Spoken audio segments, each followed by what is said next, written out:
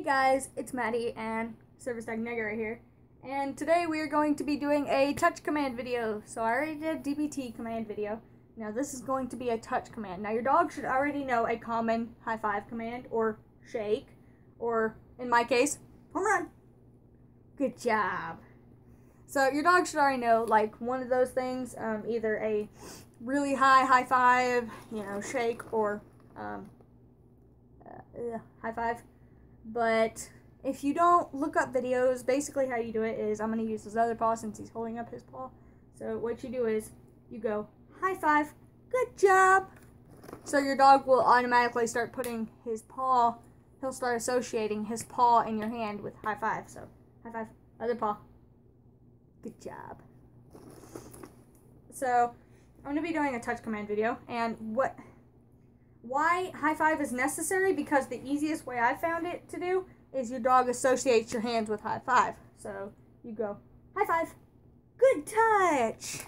Now he already knows the touch command. Touch, good, touch, touch, no, touch, here, touch, good job. So he already knows the touch command and he'll usually start pawing at me because I can't just feel a simple touch. Stop it. Stop that. And sometimes you'll see him do this in videos. I don't know why he does it. I mean, can any can any people who are like dog behaviorists tell me why he does this? maybe it's to get my attention because he knows. or maybe he's doing it just because of Brat. So, yeah, stay. No, Stay. High five. Good touch.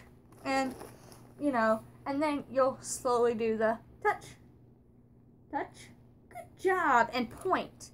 Start phasing out the high five with good touch to touch, here, touch, good job.